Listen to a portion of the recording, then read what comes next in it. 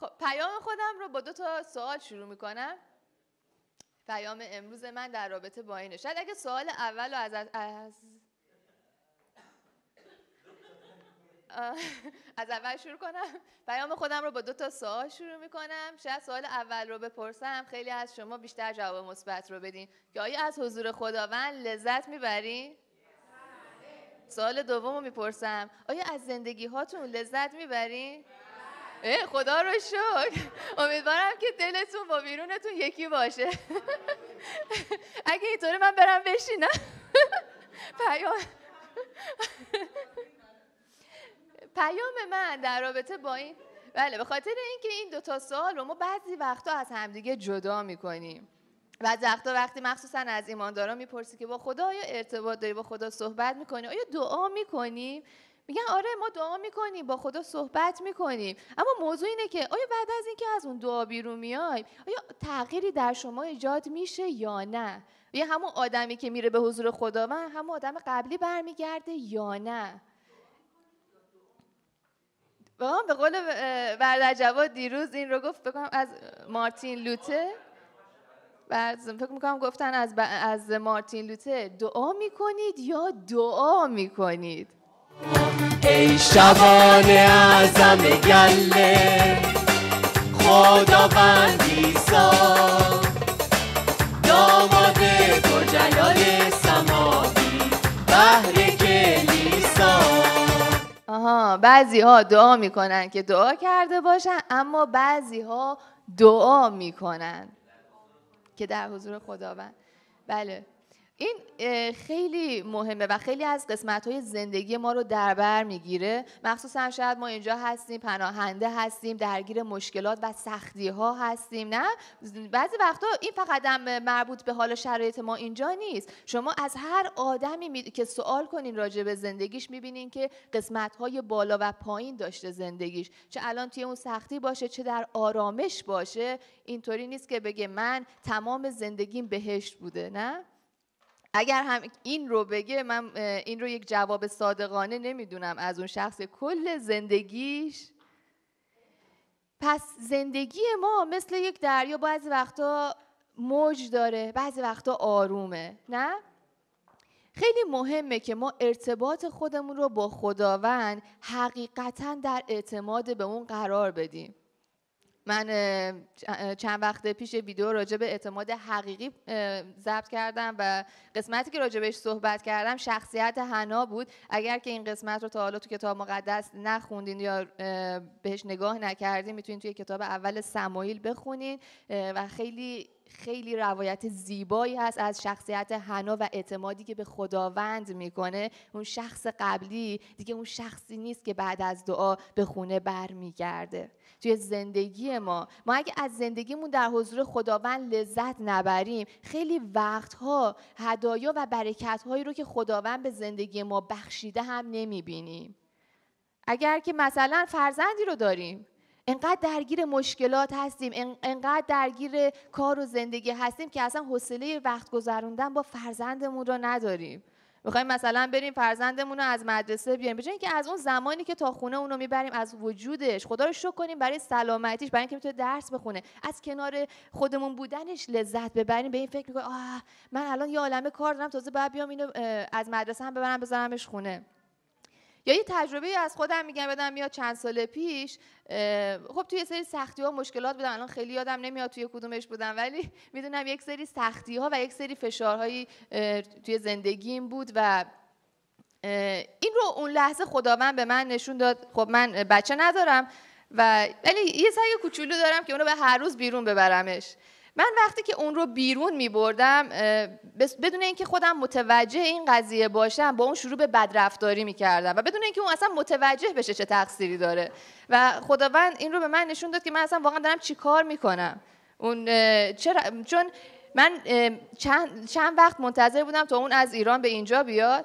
و خداوند می‌گفت تو برای یه چیزی که اینقدر منتظرش بودی و قرار بود ازش لذت ببری الان داری با بدرفتاری با اون رفتار می‌کنی و شرایط زندگی تو داری سر اون خالی می‌کنی. نه؟ حالا من اون رو دارم. بعضی وقتا با همسرمون باعث میشیم که بین خودمون زن و شوهر اختلافای بیشتری بیفته. شر مشکلات زندگیمون رو سر همدیگه خالی می‌کنیم. اینجا اونجاییه که به جای اینکه تمرکز ما بر خداوند باشه بر مشکلات و سختی های زندگی دیگه اون برکت ها و اون زیبایی های لحظات زندگیمون رو نمی‌بینیم. از لحظاتی که می‌تونیم در کنار همسرمون با یک شادی کوچیک حتی بگذریم اون رو از خودمون و اون محروم می‌کنیم. خیلی وقتا فقط به دنبال مال و جمع کردن پول و این چیزها می‌بینیم که کل زندگیمون رو گذروندیم و حقیقتا اون چیزی که دنبالش بودیم رو تمام این مدت داشتیم و از دست دادیم. چون دنبال فکر می‌کردیم با داشتن چیز دیگه همه اون رو خواهیم داشت. نه؟ پدر و مادرها مخصوصا پدر و مادرهای قدیم چندین سال کار می‌کردن که بچه هاشون خوشبخت بشن. اونا پیر می‌شدن و بعد می‌دیدن که این همه مالندوزی که کردن خودشون هیچ لذتی ازش نبردن. من توی ایران خیلی میشنیدم که چند چهار تا سه تا بچه داشتن هم می‌گفتن ما هیچ لذتی از زندگی خودمون نبردیم. پس مهمه که ما امروز خداوند رو داریم. من فکر می‌کنم و به این ایمان دارم که هیچ چیزی بدون حضور خداوند حقیقتا معنا و لذت حقیقی برای ما نداره. کتاب جامعه خیلی قسمت زیبایی رو در این رابطه میگه که من می‌خوام برای شما بخونم. مرسی خاله. این رو میذاریمش اینجا. قسمتی از پیام نیست ولی از بودنش لذت می‌بریم. بچه ها چرا اینطوری؟ یه چیزی میدن بعد می‌گیرن. خب چرا میدن؟ خب. قسمتی که می‌خوام برای شما عزیزان بخونم از کتاب جامعه هست. بذاریم باز کنم.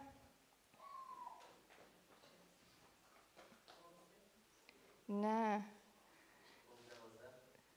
نه این رسته سب کنیم بیارمش. عوضش نه فکر کنم. نه نه بردم. فصل دو هست به نظرم این فصل از اولش قشنگه ولی خب من از آیات 24 رو می‌خونم تا آخر به خاطر اینکه نمی‌خوام زمان رو بگیرم. میگه پس برای انسان بهتر است که بخورد و بنوشد و از آنچه به دست آورده لذت, لذت ببرد و این از جانب خداوند است. زیرا کیست که بتواند جدا از خدا چیزی بخورد و لذت ببرد؟ خدا به کسانی که او را خوشنود می‌سازند حکمت دانش و خوشی میبخشد. ولی به خطاکاران مشقت کار و زحمت اندوختن مال را می‌دهد تا خدا آن را از آنها گرفته به کسانی عطا کند که از آنها راضی است. این نیز مانند دنبال با دویدن بیهوده است. پس هر چیزی که ما الان توی زندگیمون داریم از خداونده که به ما رسیده. برکت خداونده. حتی لذت یک نهار خوردن با همسرمون. اون رو با درگیری مشکلاتمون فکر کردن به اینکه چه سختیایی داریم اون رو از خودمون و از همسرمون نگیریم. از فرزندانمون نگیریم. می‌تونید سوال کنید از کسانی که این مسیر رو دنبال کردن. بپرسین آیا محبت بیشتر شخصیت بچه هاشون رو شکل داد تا بزرگ, بزرگ شدن یا اون ثروت و مالندوزی بیشتر شخصیت اونها رو شکل داد؟ من در ایران دوستی داشتم که پدر و مادرش دکتر بود و خیلی از نظر مالی عالی بودن اما اون دختر اصلا نسبت به پدر و مادرش محبت و احساسی نداشت. چون می‌گفت اونها همیشه من رو تنها گذاشتن. در ولی برعکسش رو هم می‌بینیم که وقتی بچه ها زمان با پدر مادرشون دارن. وقتی محبت اونها رو می‌بینن حتی با پول اندک هم. خیلی بهتر و خیلی وفادارانه تر شخصیت اونها شکل می‌گیره و موفق تر میشن در این شخصیت ها پس وقتی به حضور خداوند میرین و با خداوند صحبت می‌کنین حقیقتا به خداوند اعتماد کنین. این صحبت دلیل بر این نیست که به سختی ها و مشکلات زندگیتون بی توجهی کنین. تلاش کنین اما گرفتار اونها نشین. اجازه بدین که از لحظات زندگیتون لذت ببرین و به خداوند اعتماد کنید. نزدیک به چهار سال اینجا مدرک نداشتم بعضیا به من می‌گفتن تو دیگه خیلی خون سردی. ولی واقعا می‌تونستم که طور دیگه ای رفتار کنم و زندگی رو برای خودم و همسرم سخت کنم. ولی اعتماد داشتم به خدایی که قادر مطلقه. دنبال این نباشین که خداوند باید حتما اونی که شما می‌خواین رو به شما بده. به این اعتماد داشته باشین که اگه خدا اونی که شما می‌خواین رو به شما نده نیکویی و چیز بهتری رو برای شما داره یا یک درسه یا یک تغییر بزرگ در زندگی شما که اون رو به صورت شخصی به شما نشون میده. به این اعتماد داشته باشین. اگر به خداوند اعتماد حقیقی داشته باشین ثمراتش در زندگی شما. چه در اون لحظات کوتاه برادر جواد دیروز تعریف کرد و با همسرش سر یک مسئله حساب و کتاب کلی لذت برده بودن و کلی خندیده بودن. چقدر این لذت بخشه؟ از این لحظات راحت نگذرین. این لحظات رو در کنار فرزندانتون در کنار همسرتون با همدیگه بسازین و ازش لذت و ببینین چقدر حتی در اون مشکلات و سختی ها برای شما شرایط تغییر می‌کنه. نگاه شما. چقدر بیشتر حضور خداوند رو می‌بینین. کارهای خداوند رو می‌بینین. پیام من امروز برای شما این بود. امیدوارم که تک تکتون به خداوند اعتماد حقیقی داشته باشین و از لحظاتی که الان دارین در زندگیتون کنار فرزند همسرتون و در حضور خداوند لذت ببرین. مرسی عزیزان. پیروزی هست آزادی هست پیروزی در نام تو عیسی. پر جلال است پر قدرت است. نام تو عیسی. چون ترسان شوم جانم خم شود باز در تو زفر خواهم یافت. آنگه سرایم بازم سرایم. پیروزی هست در نام تو عیسی. آنگه سرایم بازم سرایم. پیروزی هست در نام تو عیسی. آنگه سرایم بازم سرایم. پیروزی است در نام تو عیسی. آنگه سرایم بازم سرایم